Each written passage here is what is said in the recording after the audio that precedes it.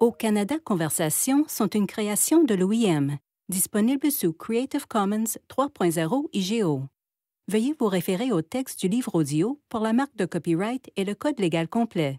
Financé par Immigration, Réfugiés et Citoyenneté Canada. Funded by Immigration, Refugees and Citizenship Canada. Dialogue 10 de Haut-Canada Conversation. Redémarrez votre carrière. Le dialogue qui suit se rapporte à l'unité 7, l'emploi, du manuel du participant, orientation canadienne à l'étranger. Pour plus d'informations, veuillez consulter les activités suivantes du manuel du participant de l'orientation canadienne à l'étranger. 7.9 Moyen de démarrer votre carrière au Canada. 7.10 L'importance de l'évaluation des titres de compétences. Après une courte pause, la facilitatrice de l'orientation canadienne à l'étranger, Ali, Obassi et d'autres réfugiés reviennent dans la salle où se tient la séance de l'orientation canadienne à l'étranger. D'accord tout le monde. Lors de la séance précédente, nous avons parlé de travailler au Canada. Mais certains d'entre vous avaient peut-être déjà eu une carrière dans votre pays d'origine. Nous allons donc parler de cet aspect. J'ai une question. Oui Qu'en est-il des emplois en soudure? Dans mon pays d'origine, j'étais soudeur. J'aimerais bien que mon premier emploi au Canada soit celui de soudeur. Vous pouvez poursuivre votre carrière en tant que soudeur au Canada.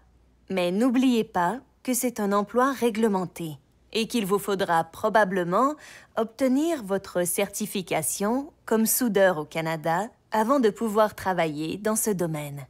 Un premier emploi n'est pas nécessairement celui qu'une personne occupera toute sa vie. Au début, de nombreuses personnes acceptent une offre d'emploi, même si elles sont surqualifiées, que l'emploi n'est pas dans leur domaine d'activité ou qu'il n'est pas rémunéré au salaire souhaité. Le principal est de commencer quelque part, pour acquérir de l'expérience et s'en servir pour progresser. Par exemple, vous pourriez accepter un emploi transitoire qui vous permettra d'occuper un emploi quelconque afin d'acquérir de l'expérience et des revenus au Canada et de pratiquer la langue en attendant d'obtenir une licence vous autorisant à travailler dans un secteur particulier. C'est intéressant. Je me posais des questions à ce propos.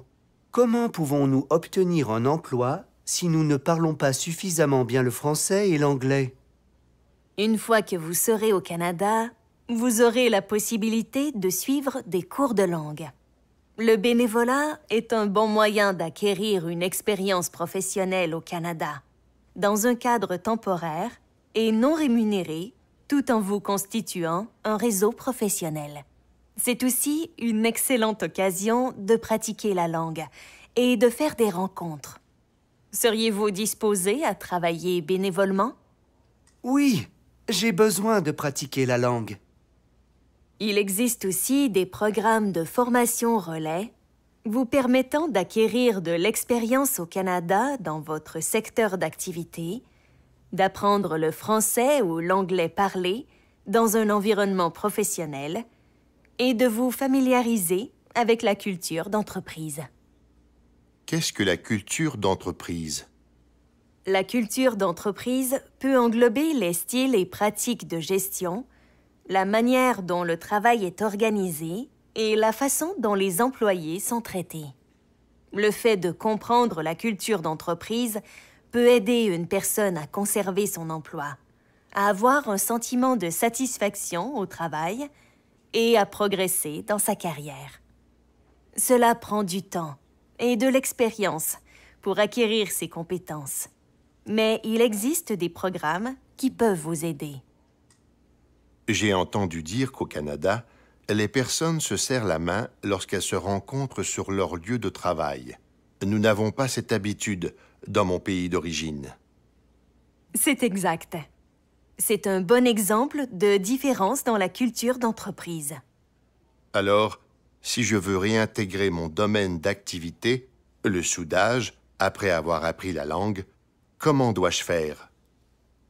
Le métier de soudeur dans votre pays d'origine et le métier de soudeur au Canada sont peut-être différents.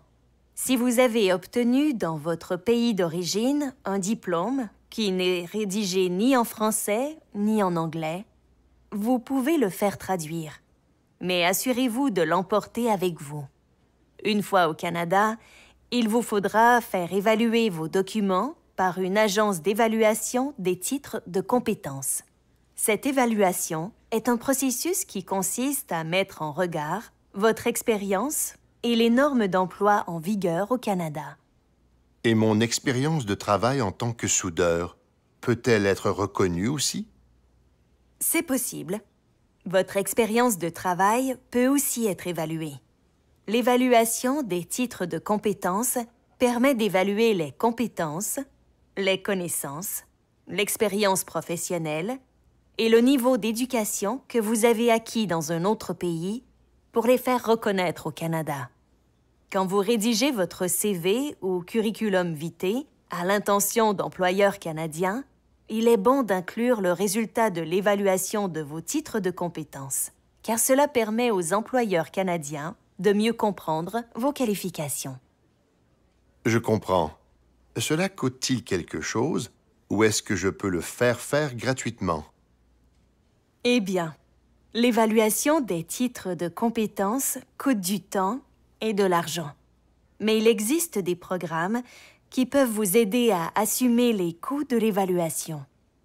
Et si je n'ai pas de titre de compétence à faire évaluer, mais que je veux entreprendre une carrière une fois que je serai là-bas? Très bonne question. Il y a bien des moyens de le faire. Premièrement, selon votre situation, vous pouvez retourner aux études. Retourner aux études? Ne suis-je pas trop vieux? J'ai 32 ans. Non, il est courant chez les Canadiens de retourner aux études à divers stades de leur vie. Ils le font pour maintenir leurs compétences à niveau ou pour élargir leurs perspectives professionnelles. Vous avez donc la possibilité d'étudier dans un établissement scolaire canadien afin d'obtenir les qualifications nécessaires pour exercer le métier de votre choix. Vraiment? Comment ferais-je pour trouver un emploi après être retourné aux études?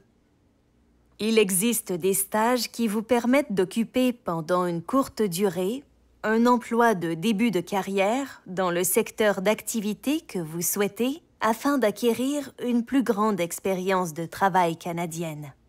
Il existe aussi des programmes de mentorat qui peuvent vous mettre en relation avec quelqu'un qui a de l'expérience dans le secteur d'activité que vous souhaitez.